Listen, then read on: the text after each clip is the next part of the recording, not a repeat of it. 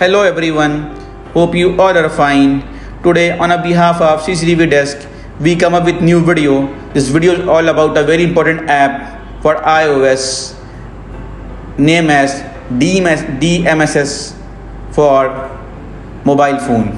So basically in this video we are going to discuss the installation of free DMSS for mobile or for iOS devices and uh, its configuration and the method is very simple for the mobile phone or iOS installations in this video first we will let you know that what is DMSS mobile applications so basically DMSS mobile application is an app which is used to connect as well as control the Dahua CCTV camera on PC.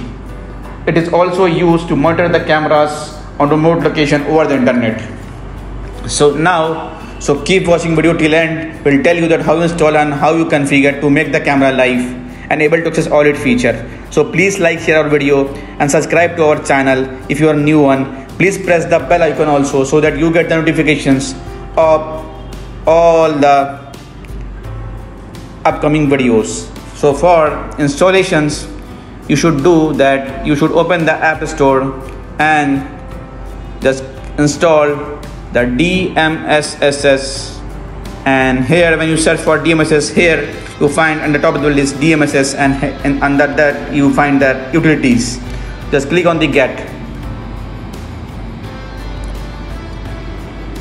And just double click to allow access. Now it is installing the app on your iOS device. And so it will take little time and after that will tell you that how you configure to make the camera live so keep watching.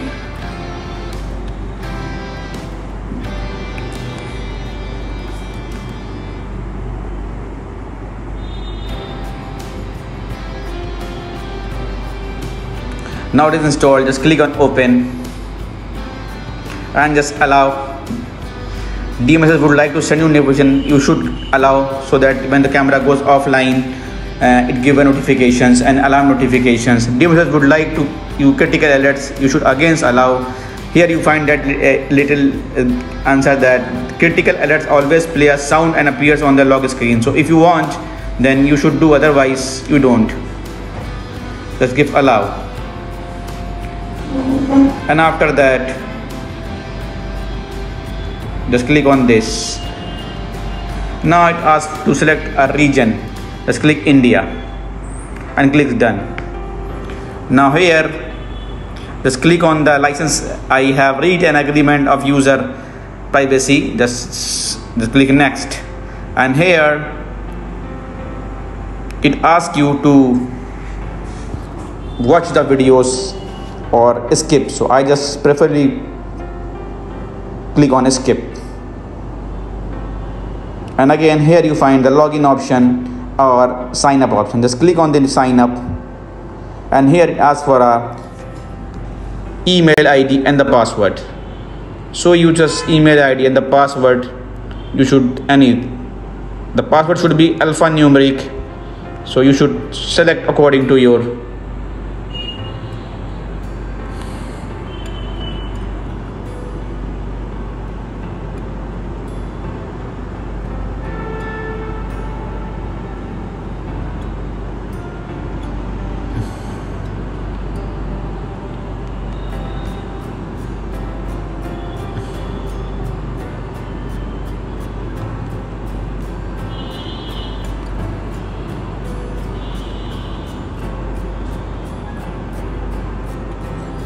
and just click get verification code.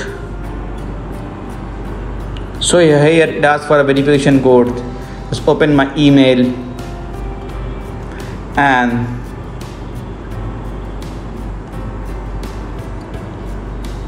here I enter my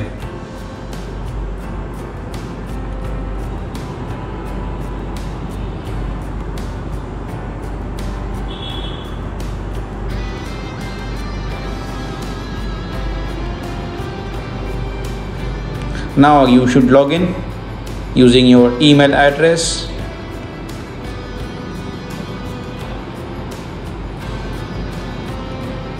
And the password.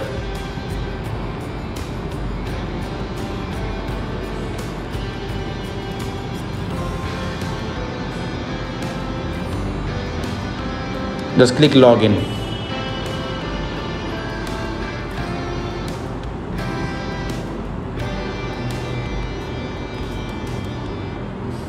now this is the interface of the software. So first thing you should do that you should find the add device option or this plus button. So you can add device from both this plus button and the add device option. So i just click on the add device. So now here you should see that it asks for a uh, qr code scan. If you are in front of the IP device. If you are in front of the IP device, it means that uh, you are able to scan then you should use this option. Otherwise if you want to add any, any remote location device so for that you should click either click this button to access to give the access to the gallery. Otherwise you should uh, click on the manual enter SN and when you do this here you should enter the serial number so I just copies my serial number to just paste it here and just click done. And after that just click on the next. And here it asks for whether your device is NVR or XVR whatever you have. So just click on the in my case I am using NVR so I just go for that. Otherwise you should choose PTZ camera and whatever you want. So just I just give NVR when I do this you can see that here you can put anything like test device in my case. And here it asks for a password. So just give a password here okay? So please note that, note that this is the username and password of the device. Means the device you are adding. And serial number is of the is, is also of device. The device you are adding whether it is a IP cam, whether it is DVR, whether it is NVR, and after that, just click on the save. When I do this,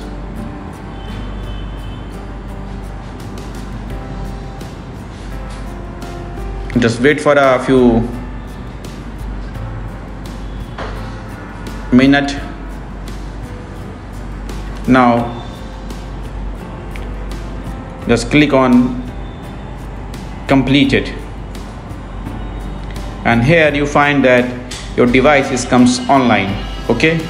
So here you find that just click on this as HD option and SD options. So when you click on SD option then uh, then the, it take little uh, less amount of bandwidth and the camera quality is blurred. And when you click on HD uh, then the camera quality is clear and you find a, a perfect view and it, it takes a lot of bandwidth okay so there is a lot of option like screenshot and play, uh, recording. And here you find the recording in your device. Just recording is saved. Here you here is a snapshot like that. And if you want just again just go to the next page. Here you find that this is the interface. When you log in the software you your device look like this okay so if you want here you find the live view playback door and many more options okay?